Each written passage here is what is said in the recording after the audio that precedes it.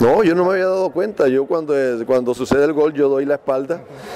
Eh, pienso cosas ahí enseguida después, doy la espalda, me doy cuenta cuando ya él viene saliendo, que le pregunto qué pasó, me dice de que lo expulsó y no supe más, no supe más porque después no, no hablé con él, sino ya después cuando ya en mi casa veo la repetición, ya hoy aquí cuando escucho la explicación de él, cuando ayer también escucho explicaciones que, que me dan.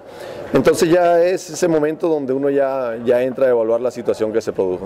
Bueno, lo, lo, lo que normalmente se hace, ¿no? El, el, asumir una responsabilidad que hizo, asumió un, gesto que no debió hacerlo nunca, que es un jugador joven que sabemos que nunca más lo va a volver a hacer y que eso conllevó a tener una dificultad para el club, para lo que eran nuestros, nuestros intereses, a pesar de que no lo hizo con, con esa intención que muchos creen que puede ser pero que aún así es un acto seno que, que no debe existir nunca más y que él lo va a aprender. Sí, claro, me sorprendió porque eh, él tiene amigos ahí en esa, en esa barra y lo que la, explicación que él da es que él le quiso mostrar de que eso era lo que estaba poniendo el equipo, pero no a mostrárselo como un acto eh, de retarlos, pero lamentablemente es un acto seno.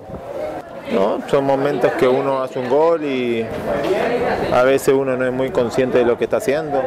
Es normal, se está viviendo un momento, como te dije anteriormente, de presión, de, de mucha responsabilidad y bueno, ese momento de no fue la manera más acertada, pero estoy seguro que no lo va a volver a hacer.